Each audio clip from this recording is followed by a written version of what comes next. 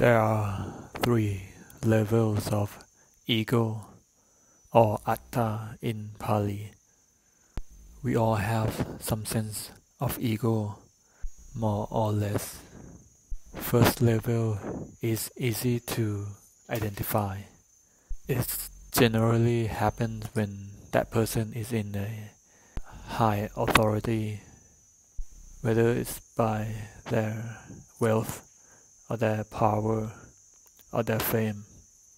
It play a big part in accumulating ego. And now on to a second level of ego, which is slightly more difficult to see. It is when we value our emotions, what we feel, or our thoughts, how we think, and what are our opinions. It is all play a big part in accumulating ego.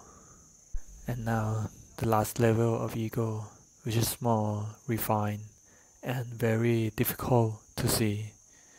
It is the value of our life, our existent so-called self, that is coded deep inside our natural instinct mainly for survival, that we do not want to go old, get sick, or die, even though we all know it is part of natural process that everyone dies eventually.